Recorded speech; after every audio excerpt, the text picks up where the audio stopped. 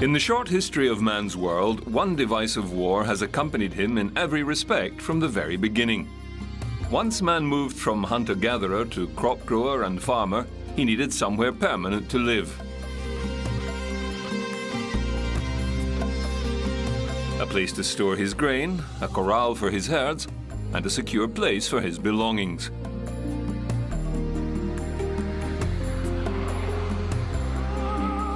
From that moment on, he required some way to protect his property, a form of fortification. From the beginning of civilization, forts, barricades and battlements were an intrinsic part of the world. Some of the oldest defensive structures still remaining date back to the empires of Assyria, Egypt and Greece.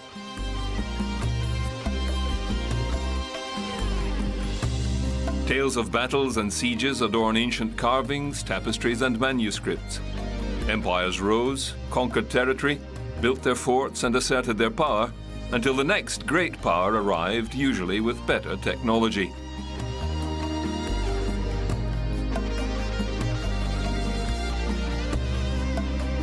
Some empires lasted a thousand years, others a few short hundred, like the Persians, who ruled the largest empire in the Near East at the height of its wealth, sophistication and glory.